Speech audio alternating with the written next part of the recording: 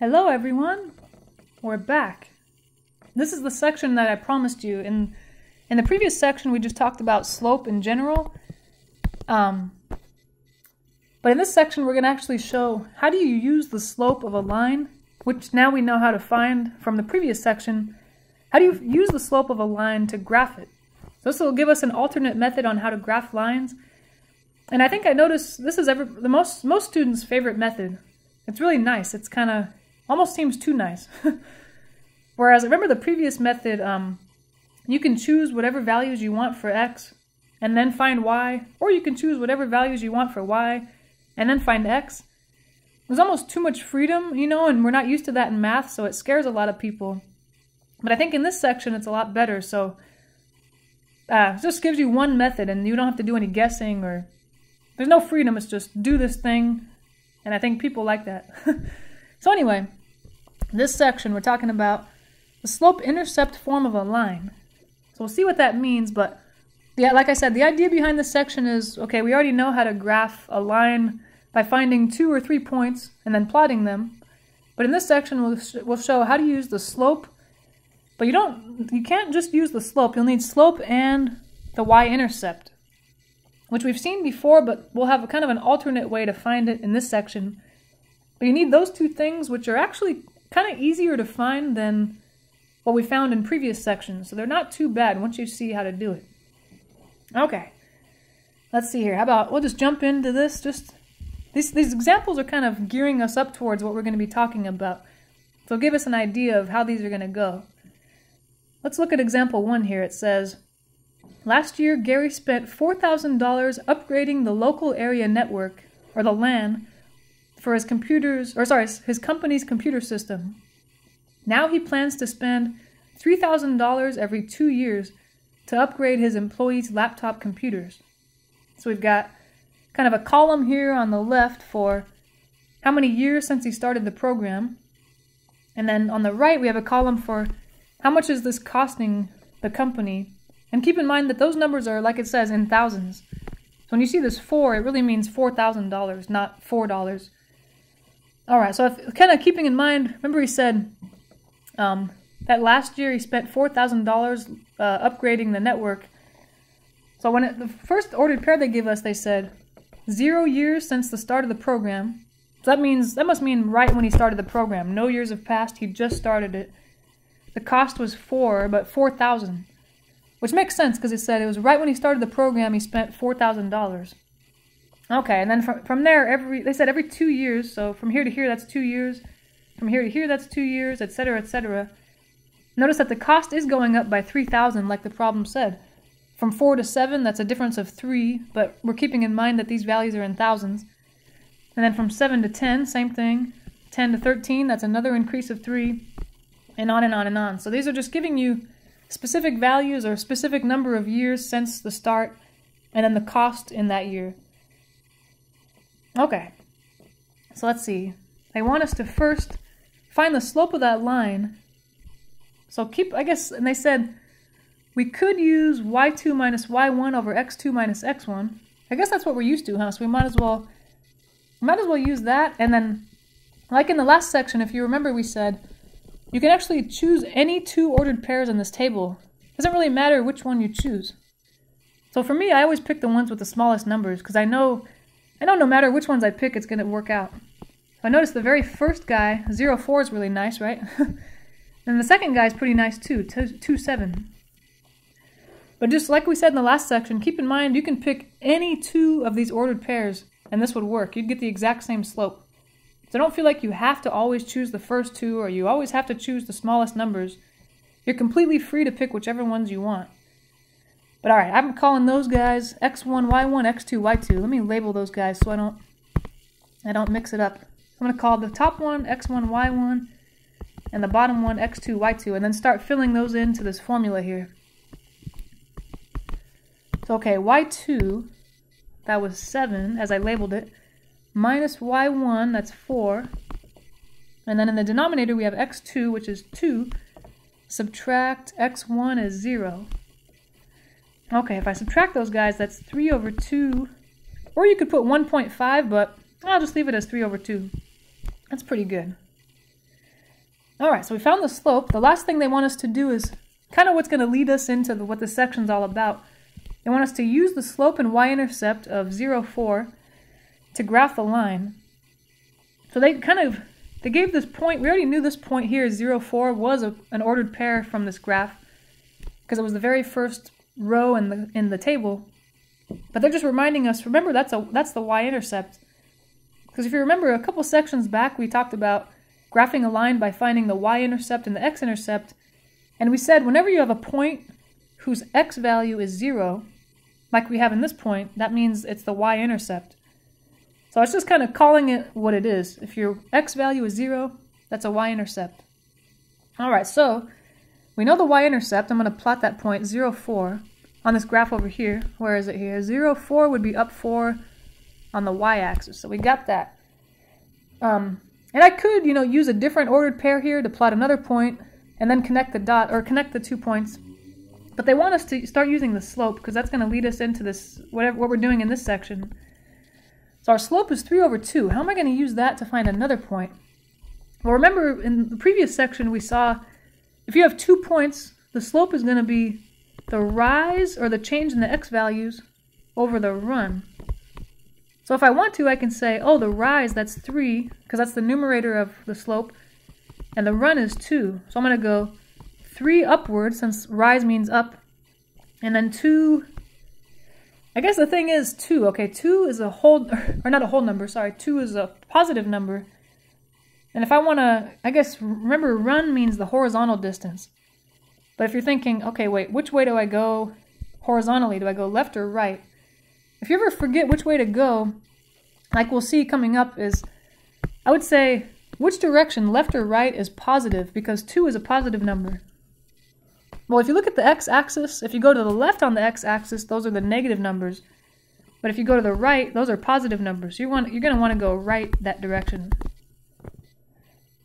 And we'll see more of this later, so it'll, it'll make more sense, I think. Um, but yeah, you're going to want to rise 3 and again, it's true because 3 is a positive number. That's why we're going upward as well. And then 2, the denominator, is a positive number also. So we're going to the right since the right is the positive direction on the x-axis. Okay, so from the y-intercept that we drew here, 0, 4, I'm going to go up 3. Let's see, 1, 2, 3. That would land me right at the level of 7. But I'm not going to make a point yet because I need to not only rise, I need to run 2. So once I go up 3, I'm going to go right 2 then I'll make a point. There he is. This point here.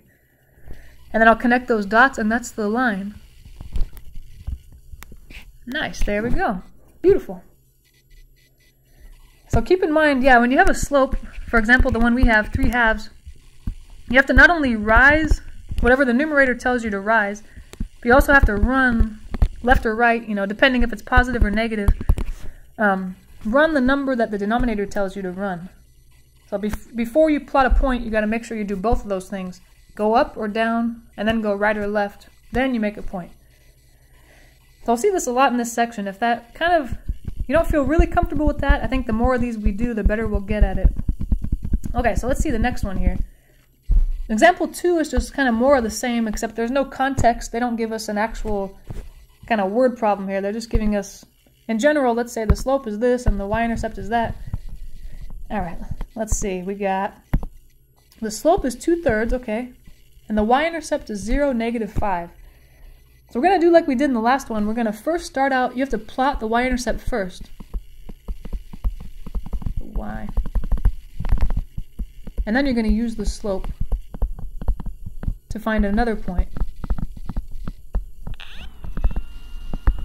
That's really the only way to do it. You, you have to start off with the y-intercept because if you start try to start off with the, the slope, you're not going to know where to start before you rise and run. So you really need to start off with a point like the y-intercept that they, they give you. Alright, let me plot that point. 0, negative 5 would be down here on the y-axis at negative 5. And then I'm going to rise and run. Okay, I got to keep this in mind. They told me that the slope is 2 thirds in this one. So 2 must be rise and 3 must be run. And I keep in mind too that both of these numbers are positive, 2 and 3. So when I rise, that's the vertical direction. I think, okay, on the y-axis, up or down, which one is the positive, positive direction? It would be up. So I'm going to go up 2. And then the same thing with the run. Run is either left or right, depending on the number. Is it positive or negative? Well, 3 is positive, so I'm going to run the positive direction, which is to the right. Okay. So from that y-intercept I drew at 0, negative 5, I'm going to go up 2, and then right 3. 1, 2, 3. I think it lands about right there. That's where that guy would be. Up 2, right 3. And then I'll connect the dots and I'll be done with that line. Okay, looks good to me. And you notice, just to, you don't have to think about this, but just as a check, remember we said if you have a positive slope like we have, two-thirds is positive, the line should be going upward from left to right. I always picture myself as a little person walking up the slope. If you have a positive slope, that means you're going upward, you're going up a hill. But if I had a negative slope, that would mean I'm going downward from left to right, like I'm walking down a hill. Okay, that one looks good. So let's see. Now we're going to get to, because there are most problems, they don't give you the slope and the y-intercept, like these, these past two examples that we were given.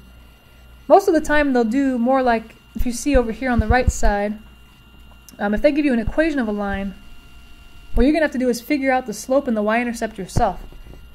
So this next part is going to tell you how do you go about and find the y-intercept and the slope.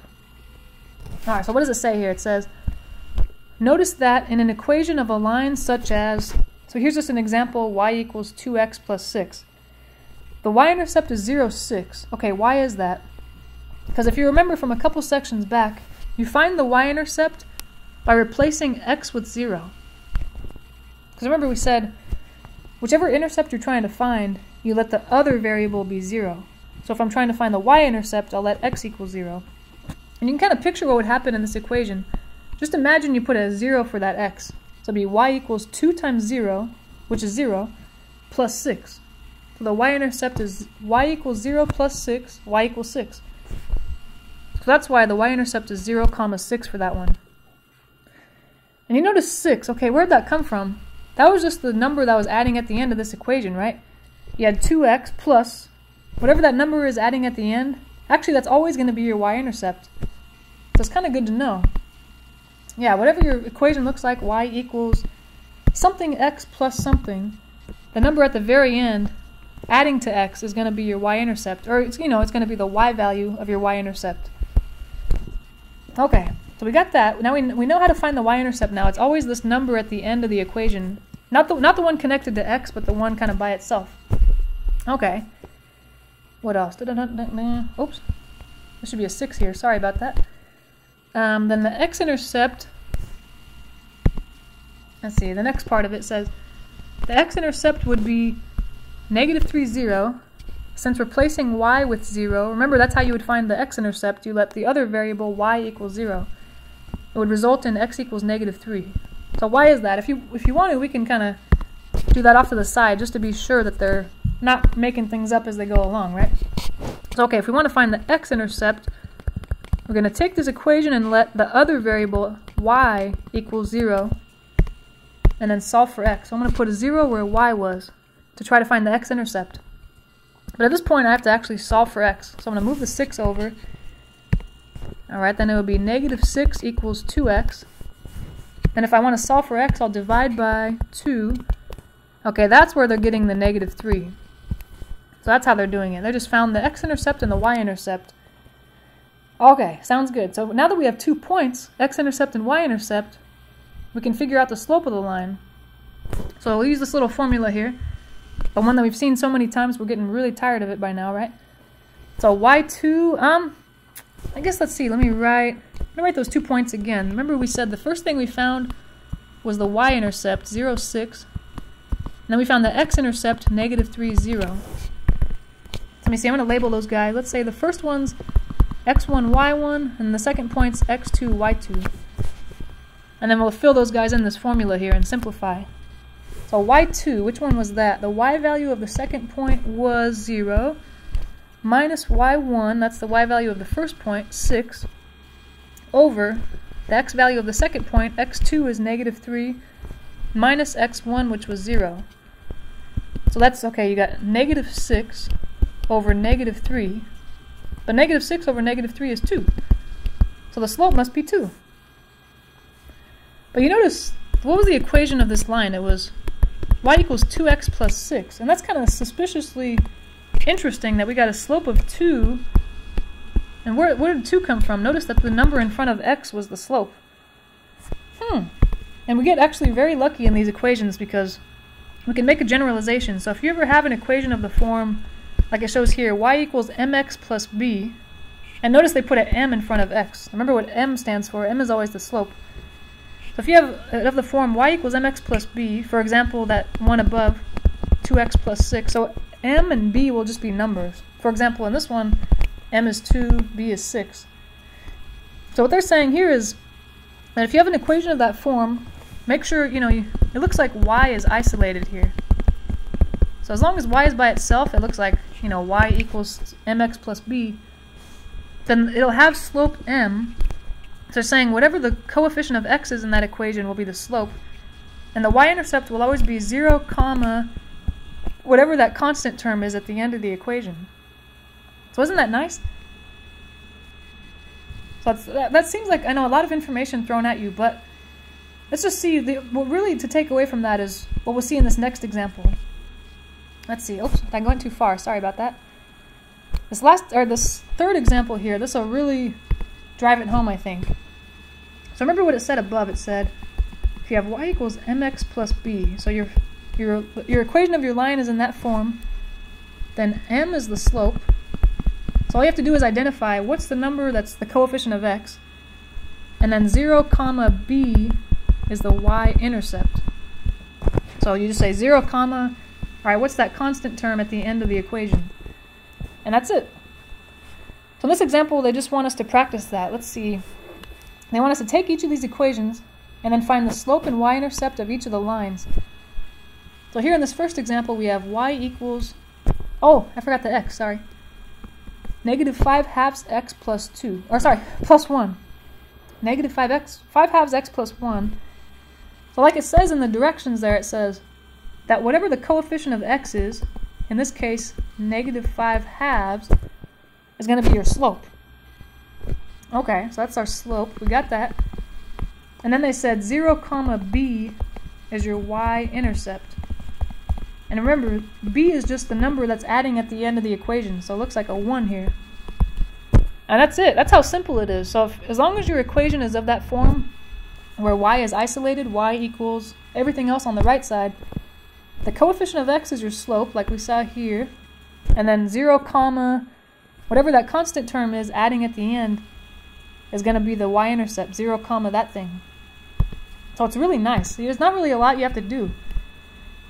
And notice that they didn't ask us to, but if they had said, okay, now graph this equation, we've, we've done that above in this a couple previous examples from this. If you're given the slope and the y-intercept, all we'd have to do is plot this y-intercept and then do the rise over run thing to find another point.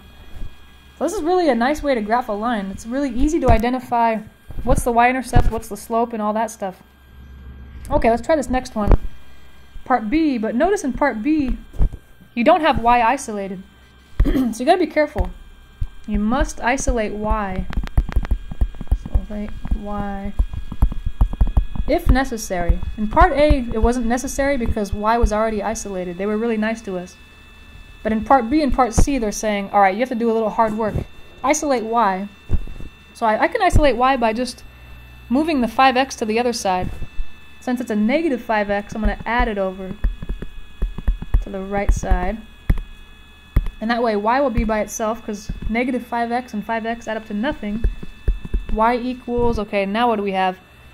So you know, I could write 9 plus 5x, but remember you want it to look more like this guy up here, mx plus b. So I'm going to write the x term first, 5x, and then the 9.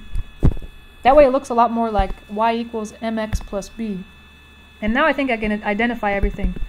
The slope is the coefficient of x, which is 5 now. And the y-intercept is 0, comma, b is the number adding at the end, so 9. There we go. Okay, we got it. It took a little work, but it wasn't too bad. You just got to keep that in mind that, yeah, this is a nice, easy way to identify the slope and y-intercept, but y better be by itself. If it's not by itself, you got to make it, you know, get it to that, that form. Alright, so the last part of this example here, we have the equation 2x minus 3y is 4. That's going to be harder because I have to isolate y.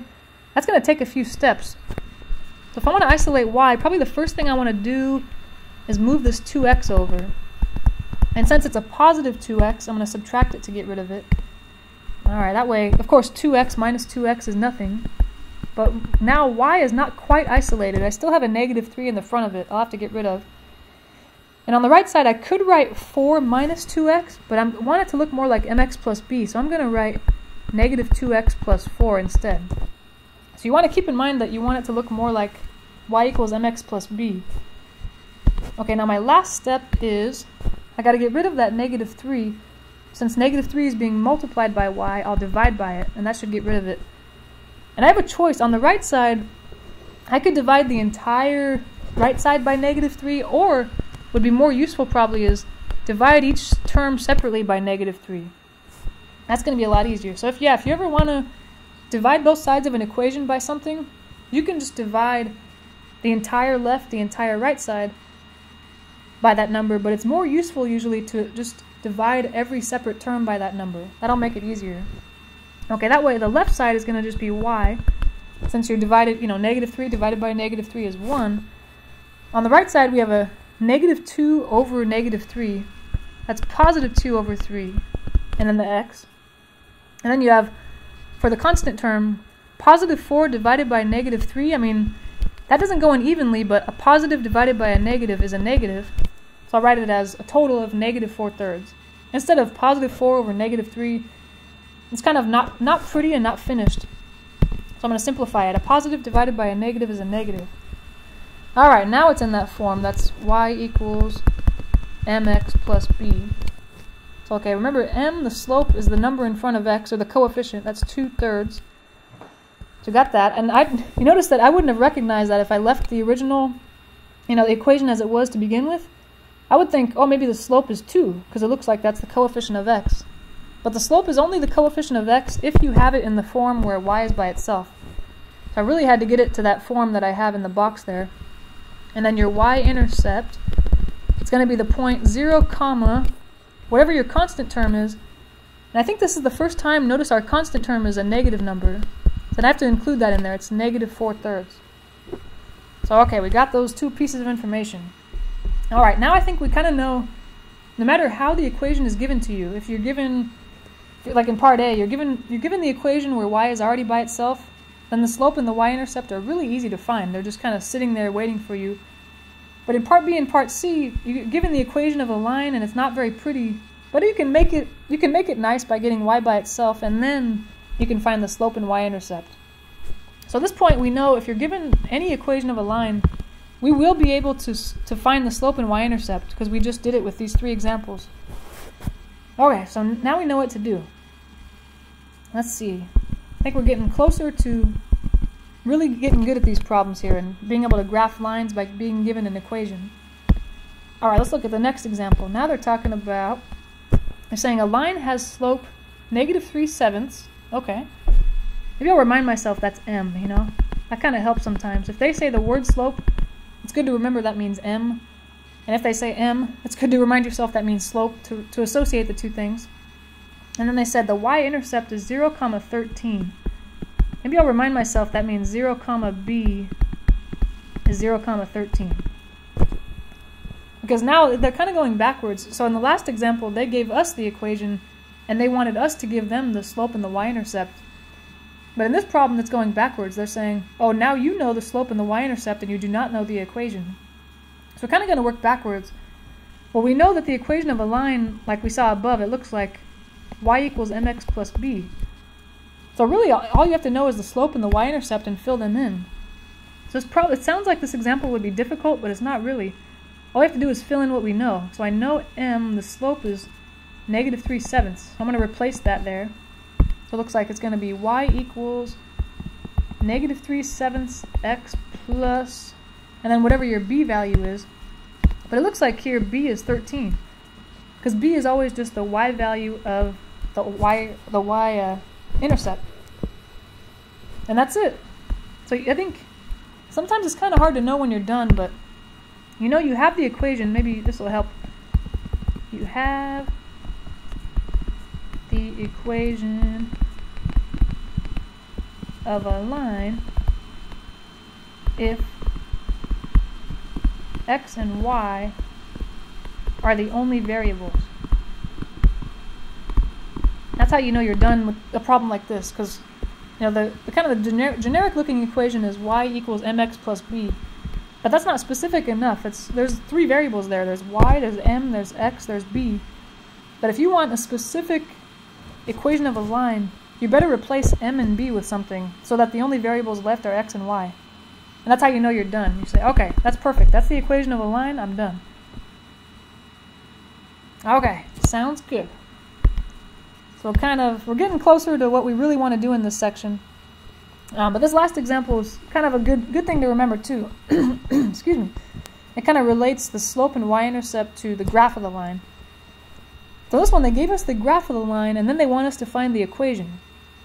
So I haven't seen this before, you know, in this section, but I'm thinking, okay, in the last example, they wanted the equation of the line also. And I remember we used this little formula, y equals mx plus b. And that's probably the most important form. That is the most important formula in this whole section, or this whole chapter, actually. So that's a good one to commit to memory. Maybe you even want to get a tattoo of that somewhere, right? That'd be kind of awesome. Nah, it wouldn't. It'd be kind of silly. No, it'd be awesome. Who am I kidding? okay. So we're going to want to use that. So what, like in the last one, what I need is to figure out what is the slope here, and then what is the y-intercept. So it looks like, I think the easiest thing to find is the y-intercept, because remember that's just the y, b is the y value of the y-intercept. And if I have the graph, all I have to do is look, where does that graph intersect the y-axis? Right here, so this, this is your y-intercept. Okay, what point is that? 0, comma, I mean they didn't label the the axes, but I'm assuming that's negative 1 because it's only down 1 on that grid. Alright, so we got b. That means b is negative 1. So we could fill that into the formula here for b if we wanted to. But the next thing we have to find is the slope. So if I'm given a graph, like we saw before, to figure out the slope, you have to go from one point to another and count how far up did you go and how far right did you go. I'm going to see. Okay, I'm going to try to figure out. Slope is the rise divided by the run. Oops, run but I only have one point so far. I'm going to try to look at this graph and see, is there another point on this line that looks like it, it kind of hits at a nice value. I kind of noticed right here, this guy for example, that hits at, what is that? That'll be at 3, and then it's above 2 on the x-axis. Those are kind of nice values. I probably wouldn't choose one like, I don't know, for example, this guy down here. Because although that looks like a pretty clear y value, it looks like it's at negative 4. That's kind of a weird x value. It's not nice. It's kind of in between two. So it doesn't actually it doesn't really matter which second point you chose. I happen to choose this one kind of in the top right quadrant here. But you could have chosen anyone as long as it landed right on one of the corners of these grids, you know? These guys right here. So you would get the same equation of the line, believe it or not. As long as you chose a nice... Yeah, it landed on a nice corner. So now all I have to do is look at between those two points, how far up and how far right did I go. So I might as well start from that first point we found, 0, negative 1. From that point, oops, from that point up to the next one, how far up is that? That's 1, 2, 3, I think that's 4. 4 units up, is that true? Yeah, from negative 1 to 0. Yeah, yeah, yeah, okay. So I went up 4. How about, how many did I go right in that direction? I went 2. Is that true? Yeah, from the y-axis over to 2. Alright, we got it. So we rose 4 and we ran 2 to get from one point to the other. We can simplify that, of course. The slope is 4 over 2, that's 2. Okay, that was a little more work than I than the last example, but now we're ready. We can find the equation by just substituting the value of m we just found and the value of b that we found a little earlier in this problem. Okay, y equals mx plus b. Let's see. The slope we just found was 2, so I can go ahead and replace that where m was, and I remember a little while back we found that the y-intercept was b is negative 1. Ooh, so I shouldn't have put a plus there. I should put a minus, or sorry, yeah, minus. Whoopsies. I got a little ahead of myself. So it'll be 2x minus 1. There we go. That's the equation of the line. Interesting. So that's good to know. In this section, it's we're gonna the main thing we're focusing on now, or what we're building up to in this section is how to graph a line using the slope and y-intercept. But in the next section, actually, we'll be doing a lot more of this, that, like the one we just did, example 5, where we're the ones that have to find the equation of a line. They give us some information, and we have to find the equation. We'll do a lot of that in the next section. But in this section, the main focus here is supposed to be you're given the equation of a line like we see in these coming examples. Oops, example 8 and 9 here. Or sorry, 8 and 9, getting ahead of myself. example 6 and 7. And they want us to take this equation and graph the line. So let's just start out. I think it's just really this these problems these two problems are putting together what we've learned above in this section, putting it all into one problem. So okay. In example 6 we have this equation y equals negative 2 thirds x plus 4 and they want us to graph it. So one of the very first things we learned in this section is in order to graph a line, all you need to know is the y-intercept. So if we can identify that, that'd be great. And then also the slope. And if we have those two things, all we have to do to graph it is plot the plot the y-intercept, and then we'll use the slope to find another point. But another thing we learned in this section is if you're given the equation, that the constant term for, in this one it's 4, that's going to be the y value of the y-intercept. So the y-intercept is 0, comma 4, since the, that number is staring me right in the face. And then the slope is the coefficient of x. It's negative 2 thirds. And that's really all we need. So, like we said, the first thing you want to do is plot the y-intercept. The point 0, comma 4 would be right here on the y-axis. Perfect. Okay, this okay. This is the first time, though. Notice, graphing a line, we have not seen a negative slope. So the question is, you know, when I when I do my rise and run, I'm trying to rise something, run something. Which of those is going to be negative? Because I see a negative in my slope here. Am I going to rise a negative number or run a negative number? The thing is, you have the freedom to put the negative wherever you want. You can put it on the 2, you can put it on the 3, you just can't put it on both. You have to just give it to either the numerator or the denominator. And for me, I never I want I try not to confuse myself as often as I can. So I just, this is what I always do. I, I just always put the negative in the numerator. Just so I don't forget the numerator. So I'm going to rewrite the slope. Slope is going to be now, instead of a 2 thirds with a negative in the front, I'm going to give the negative to the 2 and let the 3 stay as it was. I think that's that's just a good way to do it. It's, it's less confusing if you just remember, okay, you see a negative slope, just make the numerator negative and that's it. Just make sure, you know, if you're thinking, why not both? What if you make the denominator and the numerator negative? A negative over a negative is a positive, actually. So if you give the negative to both, you've changed it from a negative slope to a positive slope. So make sure whatever you do, don't give a negative to the top and the bottom, just the top. Okay, so I think we're doing good. We remember we already plotted the y-intercept that was 0, 4, and now we're gonna we're gonna use the slope to rise and run. So I'm thinking of, okay, negative 2, that was the numerator. That's We're going to rise that many and then run 3. This is the first time we've seen this. Notice now the rise is negative. So rise, actually that word is kind of misleading. Because when I hear the word rise, I always think up. I never think down. But really, rise, it could be up or down depending what your sign is. And since our sign is negative, I'm going downward because on the y-axis, downward is the negative direction and then run. That one I don't have a hard time remembering that's left or right, because you can run any direction, left or right. But keep in mind, rise, it could be negative or positive, so you could be going up or down. But since run is positive 3, I look at the x-axis and say, oh, um, the positive direction is to the right. So I'll be going down 2 and 3 to the right.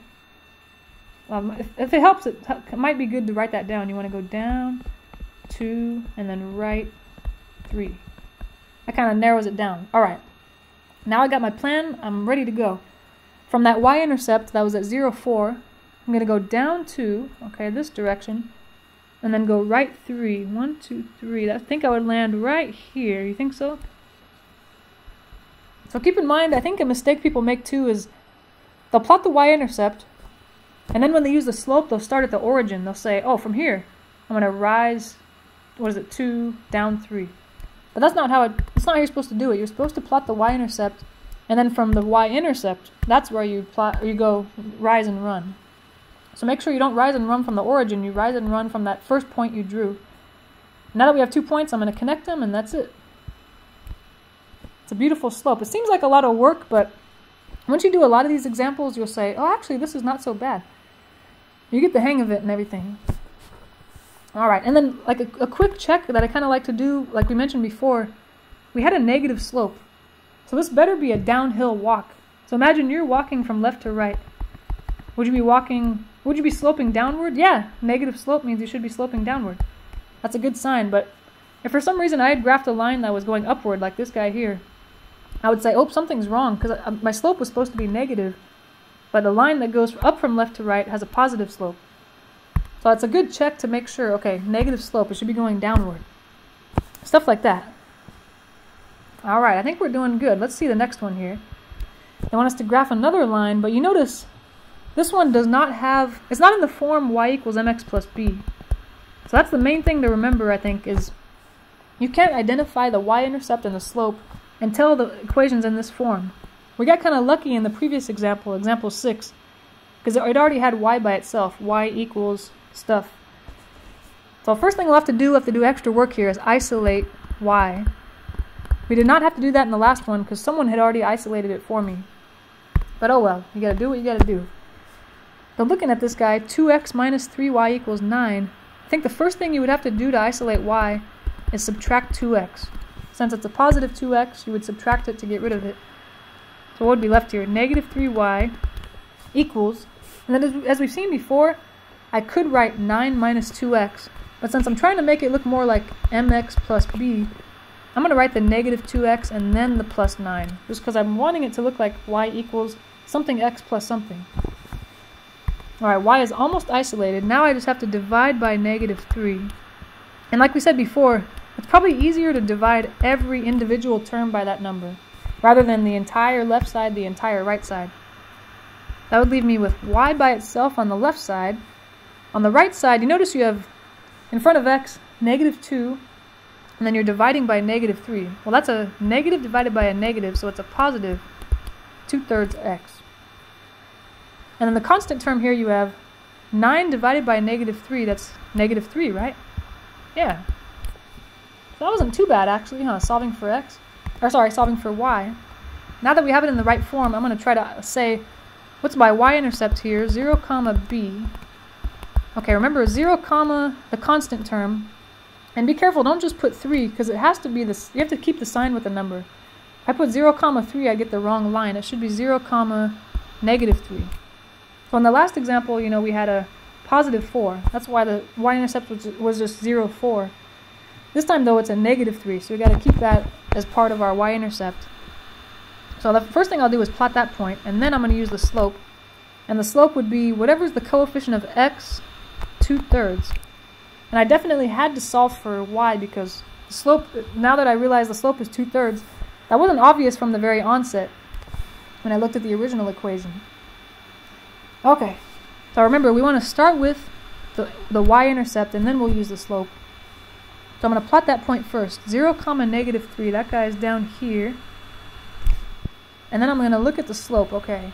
I got lucky on this one because the rise and the run, they're both positive. 2 is positive, so I'm going to rise, that's up, since up is the positive direction. And then I'm running 3. 3 is positive also, so I'll be going right 3. Alright, so from that y-intercept we already plotted, I'm going to go up 2, and then right 3. I think that would land us right here. And then connect the dots, and there's our line. Beautiful. I think that works. Okay, so it's kind of a lot of work, especially on this one, like where I had to isolate y. But, but again, I think the more of these you do, the better you're going to get at them, and then you're going to like this method a lot. I think even better than the previous one. All right, we're going to do a little more graphing of lines, but we're going to connect it with a new idea that we haven't seen before in this class. But this this will kind of this idea right here will kind of stick with us for the rest of this chapter. We'll see these um, quite a bit. Okay. So we got kind of new definitions here. You've, I'm sure you've heard the word parallel before. But two lines are parallel if they never intersect. So notice you have a picture of those guys here. Here are two lines, they're just going to go, they're going to go in the same direction but never intersect because they're, I guess what you think about it, they're sloping at the same level, right? Like if I was a little person walking up this this slope, and then I was a little person walking up that slope, they'd be the same. You know, one of them wouldn't be more difficult to walk up than the other. They'd be the exact same difficulty, which is why the the easiest way to identify parallel lines is if if they have the same slope. Okay, so that's parallel lines. Then what else? What's I guess the opposite of a parallel or a pair of parallel lines are perpendicular lines. Perpendicular lines, they're lines that intersect at a right angle or a 90 degree angle. I'm sure you've seen that before. If you kind of remember, um, I'm sure you've seen the Pythagorean theorem. You remember that guy? It was like a squared plus b squared equals c squared, maybe? Well, anyway, the Pythagorean theorem, it requires you have a triangle where there's a right angle in the middle. That just means that you have to have a 90 degree angle inside. So, you know, a 90 degree angle is just like straight like two things they intersect each other perfect kind of like if you look at around the room that you're in you look at the wall and the and the floor. The floor and the wall intersect each other at a 90 degree angle. So anyway so if you have two lines that are intersecting each other at a 90 degree angle like that or a right angle then they call them pe- perpendicular lines. And this is more complicated to tell if two lines are perpendicular if, especially if you're given their equations because in parallel lines they have the same slope. That's easy to identify. This one's kind of more confusing. It says the slopes are reciprocals. And remember reciprocal, that means you take a fraction and you flip it upside down. So they're reciprocals, but they have opposite signs as well. So an example of that would be, let's say one of them had slope 3 halves. Well then the other guy's slope is, well the reciprocal of 3 halves is 2 thirds because you flip the fraction upside down. But like it says, they have to have opposite signs. So notice one of them is positive and one of them is negative. Yeah, so that's harder to identify. But yeah, so if someone said, hey, I found two lines and one of their slopes is three halves, the other one's slope is negative two thirds, you say, all right, I don't even know what those lines look like, but I already know they're perpendicular. Because I know that perpendicular lines have reciprocal slopes with opposite signs. Okay. So let's see if we can do some examples using those. So this example says, without graphing these lines, let's determine whether the following pairs of lines are parallel, perpendicular, or neither. That's kind of interesting, huh? Because graphing two lines, that takes a while. Because notice, okay, in part A, for example, you have one, the equation of one line here, y plus 8 is negative 6x. That's some kind of line. I don't know what it looks like. But then you have another line you want to compare it to. Negative x plus 6y equals 5. So I could graph both lines and then, you know, see does it look like they're parallel? Does it look like they're perpendicular? Um, but that's that would take too long. So what you're going to want to do in these problems is find the slope of each line. And then you're going to see if it's true what it says about parallel lines. Remember what it said above? Parallel lines have the same slope. So if you figure out the slope of both of your lines and they're the exact same thing, then they're parallel lines. But if they don't have the same slope, you can check to see if they have the property that perpendicular lines have over here. That their slopes are negative, or you know, they're reciprocals of each other with opposite signs. But if you look at those slopes and neither of those things is happening, you know, you say, okay, those slopes are not the same, that's for sure. And also, the slopes are not reciprocals with opposite signs. So if neither of those things is happening, then it's, like it says here, neither perpendicular nor parallel. Alright, so the main thing is we got to find the slopes and then we'll just see, are they the same or are they perpendicular? So gotta, and then unfortunately notice that the both equations in this first example, part A, y plus 8 equals negative 6x, and the second one, if I want to identify the slope, I'm going to have to get it in that form y equals mx plus b. So again, I'm going to have to get y by itself, although in this one it won't be so bad, right? I'll just move the 8 over, and then I'll have it in that form. Let's see, y equals, and I want to make sure that the x term is first because I want it to look like mx plus b. Oops, why did I put a plus 8? I'm losing it over here. It should be minus 8 because I subtracted it. Hello. Alright, there we go. So that was the first one. And now that I see that, I can identify the slope. Remember, the slope is the number that's in front of x, or the coefficient of x. Okay, so I got one of their slopes. Now I'm going to find the other guy's slope and then compare them. What was the other equation here? The second equation we were given in part A was negative x plus 6y is 5. And I have to do the same thing. I have to isolate y. Probably the first thing I would do in this one is I'm going to add x to the other side. if I add x, then 6y is by itself. And I could write 5 equals 5 plus x, but I want to see it as mx plus b. So I'm going to write the x term before the constant term. And okay, y is still not by itself, but if I isolate it by dividing everybody by 6, that'll do it. There we go. So we're almost there. y is by itself now. How about x over 6? So the thing is, if it's x over 6, I want it to look like mx plus b. So I want the slope to kind of be in front of the x. So that's the confusing thing. I got to figure out x over 6. Can I write that as something times x? Would it be 6 times x or... The tricky thing is x over 6, you can write that as 1 sixth times x.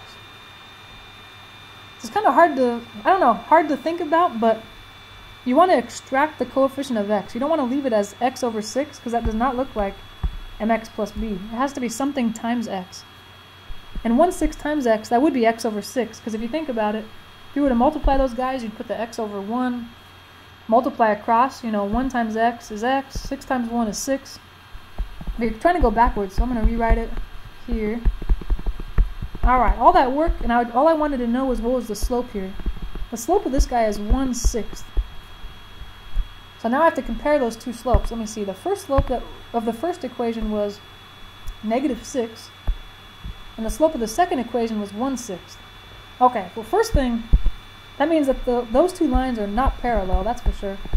Because remember, if they were parallel, that would mean their slopes are exactly the same. Well, they're not the same slope. So I'm going to check for perpendicular.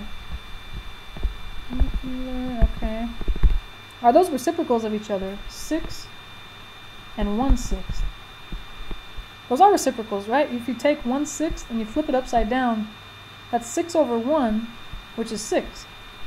So those two numbers are reciprocals of each other, and they have opposite signs, notice. One slope is negative, one slope is positive. They, uh, so they are perpendicular.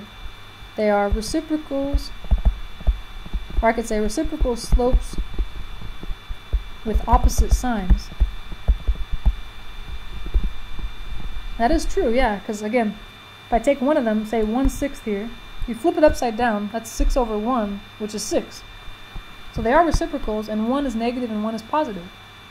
Okay, so it's perpendicular, not parallel. Alright, sounds good. Let's try... Parts B and part C are going to do the exact same thing. So it's going to get kind of tedious here. Let's try this guy. I'm going to focus on the first equation here. We got 2x minus 5y is negative 3. And we know the drill. We're going to have to isolate y to figure out this guy's slope. So I'll move the 2x over first in, in an attempt to get y by itself. That means that negative 5y will be equal to, and I definitely want to write negative 2x and then negative 3 because I want it to look like y equals mx plus b. And then, where are we here? If I isolate y, the last step will be divide everybody by negative 5. Alright, then y will be by itself and I'll be able to identify the slope. So let's see, y equals negative 2 over negative 5, that's positive 2 over 5, x. then you have negative 3 over negative 5, that's two negatives divided as a positive 3 over 5. Although that 3 over 5 doesn't really matter for this problem, huh? All that I care about is the slope. The slope is the coefficient of x, so 2 fifths. Okay. So there's one slope. compare it to the other guy's slope and we'll see kind of if they're the same then they're parallel if they're reciprocals with opposite signs then they're perpendicular but if neither of those things is going on then it's neither now let me look at that the second equation in part b it was 5x minus 2y equals 8 and I'll isolate y for that guy first thing I need to do to isolate y is subtract 5x then I'll be closer to having y by itself negative 2y equals, and I for sure want to write negative 5x and then the 8, because I want, you want it to look more like mx plus b. And then the last step would be divide by negative 2. Every single term divided by negative 2. Let's see what we get from that. y would be equal to, you have negative 5 over negative 2, that's a positive 5 over 2, x. Then you have 8 over negative 2, that's negative 4. Okay, that means the slope is the coefficient of x, that's 5 halves. Okay, so let me compare those guys. The two slopes, though they're not the same, huh? So first thing I can say is that they're not parallel. They look almost the same, but they're reciprocals of each other, right? Um, two fifths and five halves. So to be to be um, parallel, they'd have to be the exact same slope. It'd have to be like two fifths and two fifths, or negative 10 and negative 10. But those are reciprocals, but be careful because you notice, okay, these guys they are reciprocals of each other, five halves and two fifths, but they don't have they don't have opposite signs.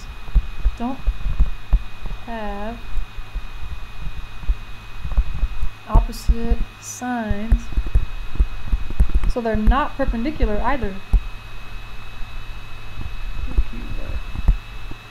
So they're neither. Neither parallel nor perpendicular.